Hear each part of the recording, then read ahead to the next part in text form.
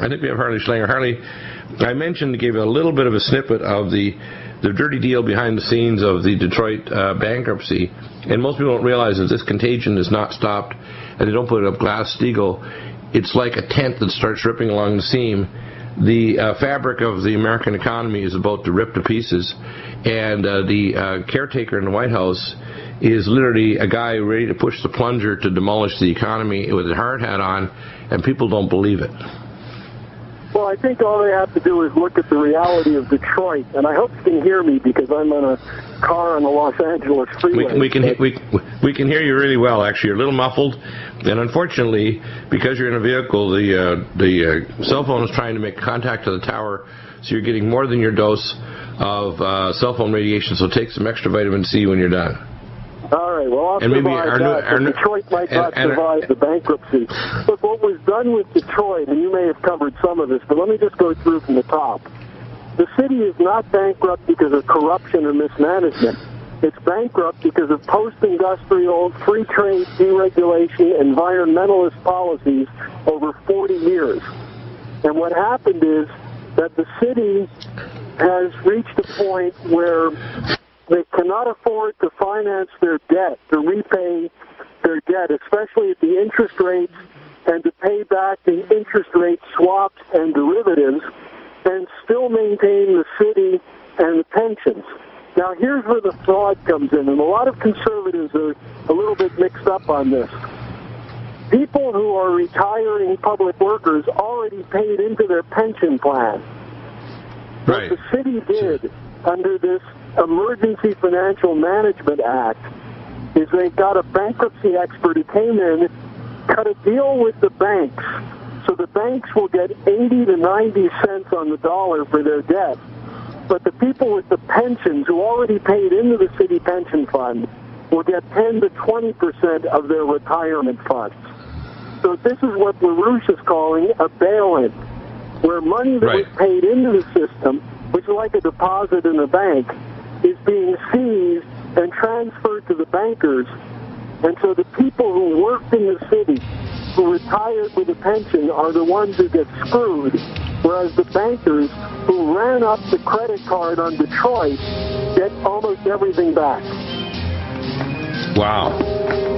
That's criminal activity, and the federal judge is blocking the lawsuits trying to stay the lawsuits to stop the bankruptcy. It's very evident that uh, things are out of control and going to rip really soon.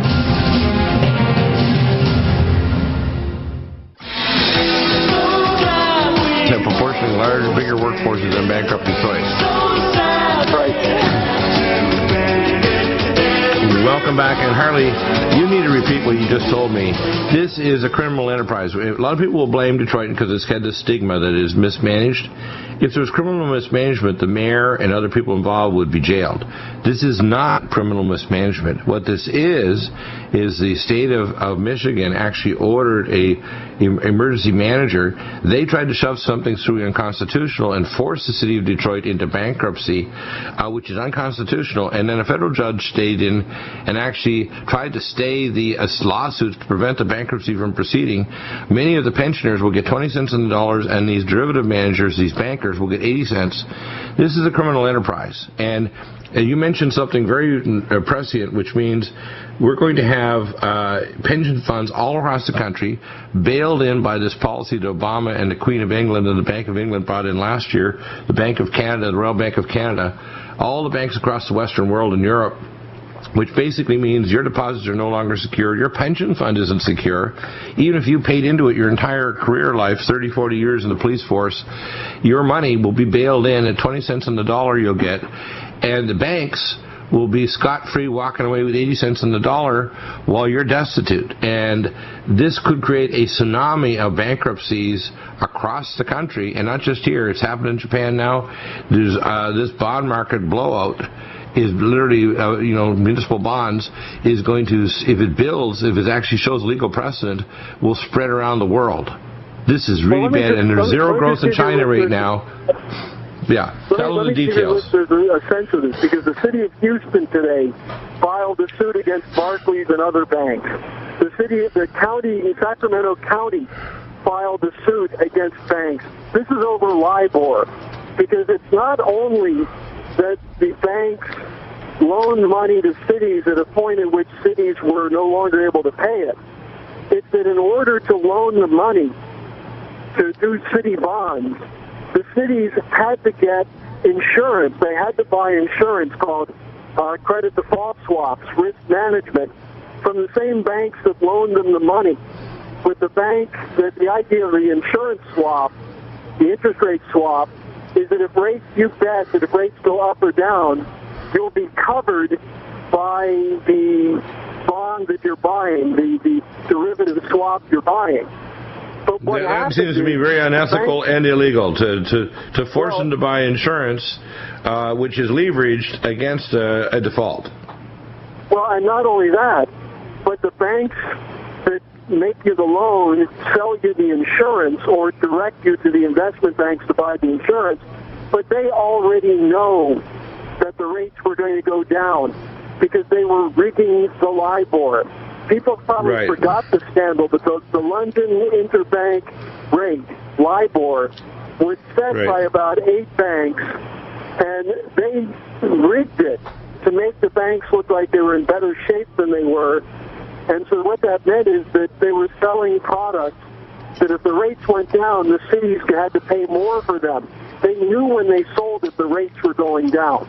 That's fraud and that should be criminal corruption. These bankers should be going to jail. The Barclays Bank, right. uh, the uh, Bank of Scotland, Hong, Hong Shang, Citibank, Bank of America, J.P. Morgan Chase. These are criminal enterprises, and they're protected by Barack Obama and the cowardice of the Congress, which is sticking with Dodd Frank, which protects them, rather than Glass Steagall, which would put them in prison. You, you know, what, you know what the problem is? The people that make jumpsuits have run out of orange. Well, they, they haven't run out of jumpsuits for 16-year-old kids selling crack. But a, no, a but they run out of orange for the dollars on an illegal trade. Uh, yeah. Doesn't get an orange jumpsuit; he gets three Armani suits. Right, exactly. What we're seeing now is the final uh, house of cards is coming down. And if the Detroit thing happens, and they may try to make it a hard case, they want to make it a hard case because Detroit looks like a good set for Armageddon. But the actual me, fact, it's just, not. Dr. Deagle, let me, let me, let me it's not mismanagement; it's a criminal enterprise. Yeah, please continue. Well, here's the, here's an important point. The the state court judge, I can't remember her name right now, but she had in front of her a, a uh, motion to prevent the bankruptcy, to give the city more time to work this out, and to do it outside of the power of the emergency financial manager. Someone tipped off the emergency financial manager, a man named Kevin Orr, that the motion was about to be ruled on by her and so he moved in the bankruptcy court, which immediately rubber stamped his filing. And so they did it to preempt the judge ruling that this bankruptcy was unconstitutional. And not only that, but now they're going into federal court to find the state court judge in contempt for her ruling, which is a ruling which is a really straightforward piece of Michigan constitutional law which said that the pension funds are inviolable. That means that you cannot take money out of the pension funds for anything other than to pay back pensions. Instead, they're looting right. the pension funds just as the banks in Cyprus looted the, the depositors' accounts to pay off bank debt. Right. Well, what this basically means is the federal government has decided it's time to pull the economy. And Obama and the federal and the international bankers have decided we're even going to find in contempt the judge who enforces state law in Michigan to protect pension funds that are inviolable. That is really, really over the top. Well, and, and then you add to that that who are the people getting hit? And by the way, the same thing was done by one of your favorite guys, the mayor of Chicago, Rahm Emanuel, who is canceling now the city health insurance for retired workers and saying that instead they now have to go into the government pool to buy private insurance under Obamacare. So No. they're losing a well-funded, good health insurance policy that was promised to them for their years of work for the city. And now they're going to have to go into the crapshoot called Obamacare, where they're going to pay a lot for premiums for poor quality health insurance from private companies. No. Yeah, Yeah, th- that's uh, Rahm you know, hey, I'll, I'll tell you what. Under one proviso, that the president and the senators and congressmen accept the same program. Oh, they'll never accept No. it. And, No. and don't forget, Rahm Emanuel's brother, Ezekiel Emanuel, was one of the authors of Obamacare. And Ezekiel Emanuel is on record as saying we should not be paying money to take care of people at the end of life. And for him, the end of life is whenever you're no longer healthy and you now need care. Actually, I think you can. I'm going to give you credit for this uh, uh, because you've got quite a dry sense of humor. I think you called him Easy Kill Emmanuel. Easy kill Emmanuel. That's exactly what we called him. and it, it fits. And, and this is these two brothers are criminals. Rahm Emanuel went into mayor of Chicago knowing full well that the city could not afford to pay its, its overwhelming debt and still maintain the pension system. He promised he would protect the pension system. And now what he's doing is the same thing they're doing in Detroit, same thing that's happening in Birmingham, Alabama, Harrisburg, Pennsylvania. By the way, very quickly, just before the break, a Republican state senator in Pennsylvania, because of this happening to cities all over Pennsylvania, including the capital in Harrisburg, has introduced a bill to make the sale of derivatives and swap agreements illegal in Pennsylvania. Wow, that's good. Uh, see, the thing is that we need this uh, in chunks, but we need international law so that they, the money cannot be, uh, this Ponzi scheme can't be stretched to other countries and other places in the world. Uh, it also will prevent the flood of pension funds, municipal and other bonds that are buying uh, in, uh, in literally investing in slave markets of manufacturing in third world countries, where, as Walter Burien says, is the main, one of the main problems why we have international slave state right now in India and these other countries, and why our businesses all left this country. Not only is bad policy here that makes it impossible to start business, easy in China, India, and Indonesia, but also the uh, derivatives market and uh, these rules about Glass-Steagall.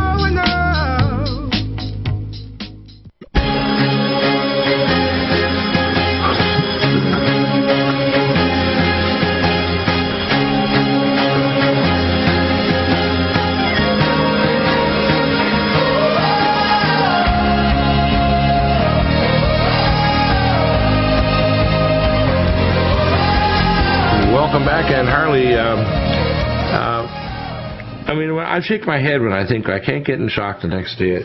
Things can't get worse, and I'm constantly surprised because I'm an optimist. Otherwise, I wouldn't do the show. Uh, but when you check the facts, I mean, we're not conspiracy theorists, as Texe Marrs says. We're conspiracy scientists.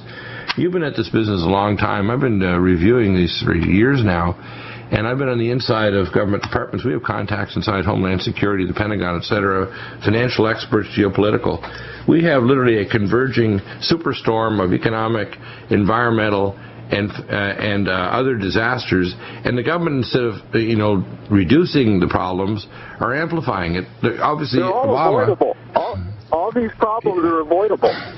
Right. And what uh, what Obama's doing in the federal uh, progressive communists and the federal judges is they're actually trying to implement things that are against the state constitution of, of Michigan and bailing in with people's pensions funds to pay off banks, which is a form of economic genocide. And I, I saw a female police officer. She said, and her left eye was kind of bloodshot. She was so upset. She obviously was crying hard uh, former police officer and her husband both retired from the Detroit, Detroit Police Force, and they said, "Well, we paid into our pension funds for 30 some years. That was their money put into a pension fund that was guaranteed not to be uh, inviolable, not to be able to be seized by the state or the city or anybody else. And yet now they're going to say we're going to give you 20 cents on the dollar so we can manage your money better. Come on." See, Is this a where- republic? What is this? The republic was we have a, a government, this is not a democracy, where we protect the individual from the majority, we don't protect the individual or we don't get rid of the individual when they're expedient because quote, the system, the machine needs to get rid of that, that cog in the wheel. This is very much the opposite of a republic.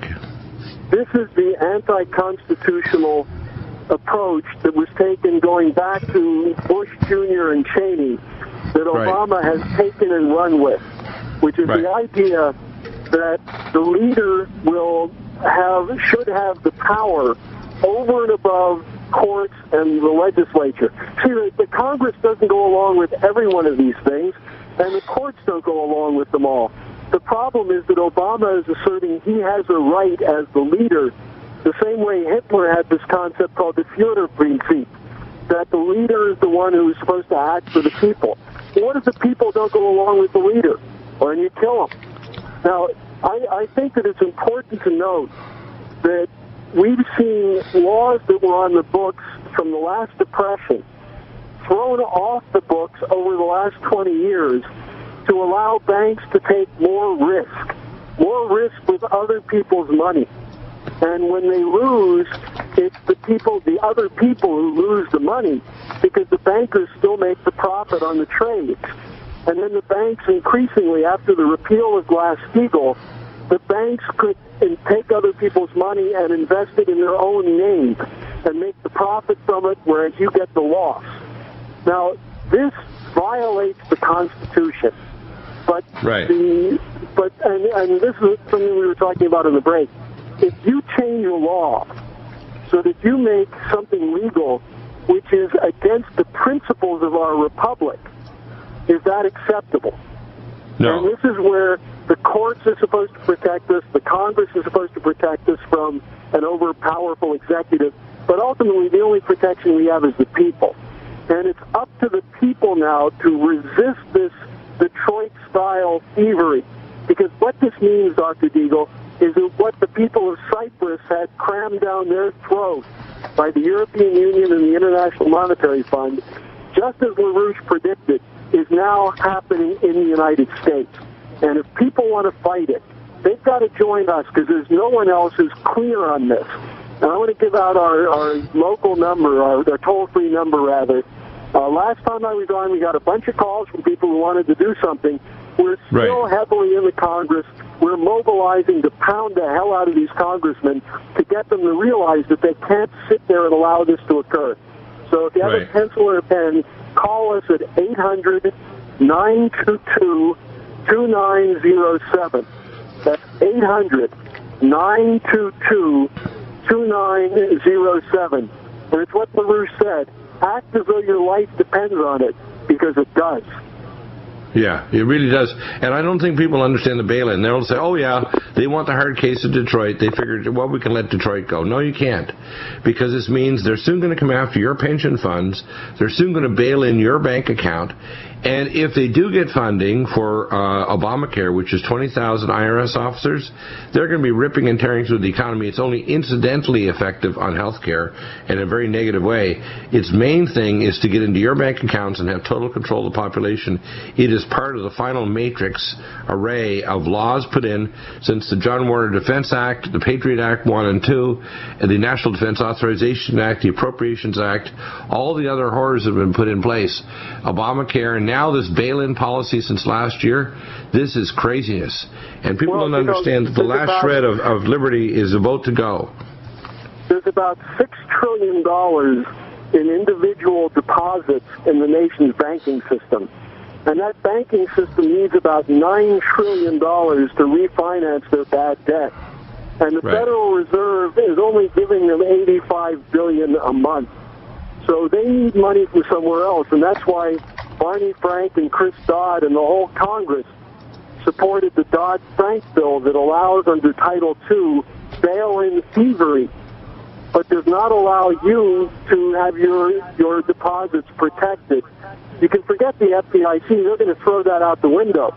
Uh, Thomas Hoenig, the former Kansas City Federal Reserve president, who's now vice chair of the FDIC, himself is campaigning for Glass-Steagall. He says without Glass-Steagall, one too big to fail bank is, that starts to go will bring them all down, and they're going to take everything. They're going to clean out the banking system, keep the money and leave you with nothing. Wow. That, that, this is this is mind-boggling, and and I know that last year you talked about this that Obama and his globalist bankers were eyeing the six trillion plus to. I think you said it's not six trillion; it's like more like sixteen to eighteen trillion dollars in uh, in pension funds. This means that pension, pension funds, funds yeah. Yeah, right across the country, we're talking about up to twenty trillion dollars almost that will be seized by these banks to bail into the to make them not only more solvent. If you look at the profit margins of J.P. Morgan Chase and other banks, they're posting the largest profits probably in history uh, during a time when banking is cr- closing down credit and businesses well, yeah, are going lending, bankrupt. Lending is contracting, even while they're getting money from the Federal Reserve. And what's right. happening is that they need to cover hundreds of trillions of dollars of bad debts. They don't need all the money to cover all the bad debts because some of it wipes itself out. But they need upwards of 60 to 600 trillion, depending on which economist you, you look at. Uh, but 60 trillion dollars is four times the current U.S. GDP. They can't come up with all that money. They're just going to come up with every penny they can, and they're going to take it from the defenseless American people and we're defenseless because the Congress is gutless, the Supreme Court is a bunch of fascists, and the president is the biggest fascist thief of all. Yeah, it's, it's true, isn't it? Wow. Yeah. That's pretty uh, mind-boggling. Uh, it's, it's so you know, shocking. You don't Congress think you... is still in session until August 2nd, and we've got our people in today. There are a couple of state legislators who are in backing us up. The president of the school board of Detroit is going around with Bill Roberts, one of our former congressional candidates, to shake up the Michigan delegation, saying, why the hell are you letting this happen? It's not just Detroit, it's also Pontiac, it's Grand Rapids, it's all the formerly industrial cities of Michigan that are being looted by these emergency managers. Right. Wow. Wow.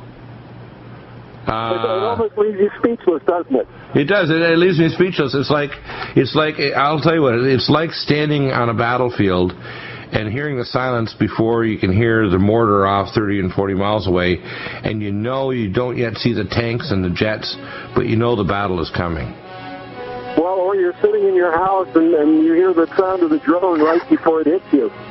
Yeah, exactly. You can hear the whistle as the hypersonic drone is about to blow you to bits.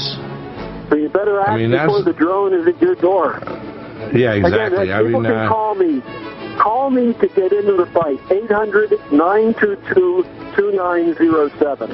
And by the way, we need to burn the phones over this immigration bill, which is all tied to the national biometric ID, which they want to replace this banking system with by December 24th, the nightmare before Christmas.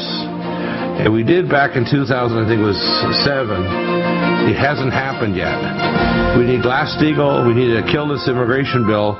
We need to have tariffs. We need to have a new system and get rid of these criminals. Amazing. Thank you, Harley. Amazing program.